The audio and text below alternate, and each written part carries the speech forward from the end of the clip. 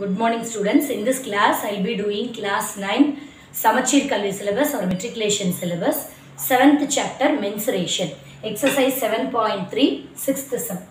The volume of container is 1440 meter cube.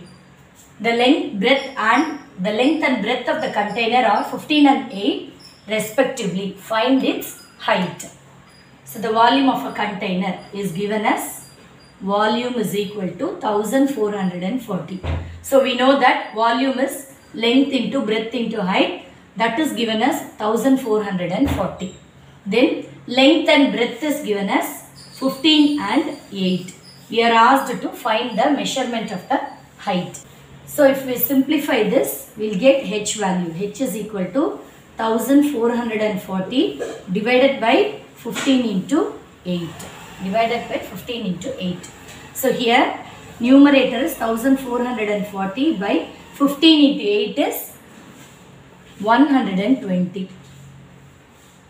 120. So 0 will get cancelled.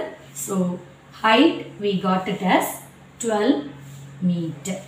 So we are asked to find the height. So height is equal to 12 meter. Okay. Thank you.